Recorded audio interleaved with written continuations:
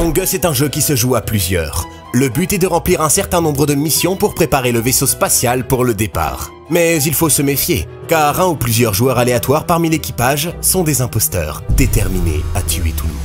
Les imposteurs peuvent fermer les portes et utiliser des sabotages pour semer le chaos et diviser l'équipage. L'un cadavre est retrouvé, le joueur peut signaler le corps pour lancer une réunion entre tous les joueurs afin de discuter de l'identité de l'imposteur présumé. On peut également lancer des réunions d'urgence sans avoir à trouver de corps pour discuter des comportements suspects.